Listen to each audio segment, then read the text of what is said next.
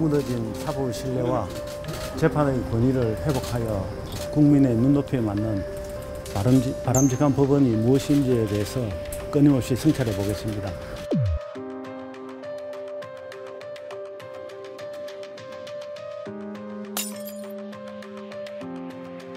제가 지명되고 신문에 보니까 거의 나와 제가 쓴 글에서 나와 있다시피 재판의 공정과 그 중립성은 어, 뭐 어느 나라 사법제도의 기본이기 때문에.